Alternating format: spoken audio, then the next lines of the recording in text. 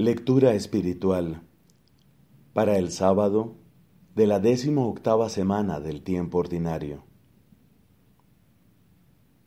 Del Tratado de San Ireneo, obispo, contra las herejías. Dios quería de los israelitas por su propio bien no sacrificios y holocaustos, sino fe, obediencia y justicia y así por boca del profeta Oseas les manifestaba su voluntad diciendo, Yo quiero misericordia y no sacrificios, conocimiento de Dios más que holocaustos. Y el mismo Señor en persona les advertía, si hubieseis comprendido bien lo que quiere decir yo quiero misericordia y no sacrificios, no habríais juzgado mal de los que no han cometido pecado alguno con lo cual daba testimonio a favor de los profetas de que predicaban la verdad, y a ellos les echaba en cara su culpable ignorancia. Y al enseñar a sus discípulos a ofrecer a Dios las primicias de su creación, no porque Él lo necesite, sino para el propio provecho de ellos, y para que se mostrasen agradecidos, tomó pan, que es un elemento de la creación, pronunció la acción de gracias y dijo, Esto es mi cuerpo. Del mismo modo afirmó que el cáliz, que es también parte de esta naturaleza creada a la que pertenecemos, es su propia sangre, con lo cual nos enseñó cuál es la oblación del Nuevo Testamento y la Iglesia, habiendo recibido de los apóstoles esta oblación, ofrece en todo el mundo a Dios, que nos da el alimento,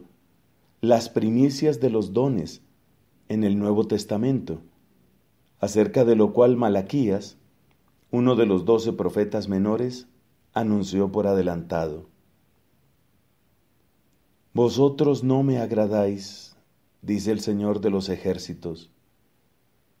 No me complazco en la ofrenda de vuestras manos. Desde el oriente hasta el poniente es grande mi nombre entre las naciones, y en todo lugar se ofrecerá incienso a mi nombre, y una oblación pura, porque mi nombre es grande entre las naciones, dice el Señor de los ejércitos. Con las cuales palabras manifiesta con toda claridad que cesarán los sacrificios del pueblo antiguo, y que en todo lugar se le ofrecerá un sacrificio, y éste ciertamente puro, y que su nombre será glorificado entre las naciones. Este nombre que ha de ser glorificado entre las naciones no es otro que el de nuestro Señor, por el cual es glorificado el Padre y también el hombre. Y si el Padre se refiere a su nombre, es porque en realidad es el mismo nombre de su propio Hijo, y porque el hombre ha sido hecho por él.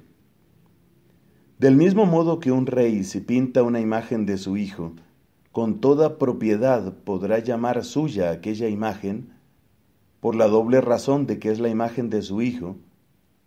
y de que es Él quien la ha pintado, así también el Padre afirma que el nombre de Jesucristo, que es glorificado por todo el mundo en la iglesia, es suyo, porque es el de su Hijo y porque Él mismo que escribe estas cosas lo ha entregado por la salvación de los hombres. Por lo tanto, puesto que el nombre del Hijo es propio del Padre, y la Iglesia ofrece al Dios Todopoderoso por Jesucristo, con razón dice, por este doble motivo, en todo lugar se ofrecerá incienso a mi nombre y una oblación pura. Y Juan en el Apocalipsis nos enseña que el incienso es las oraciones de los santos.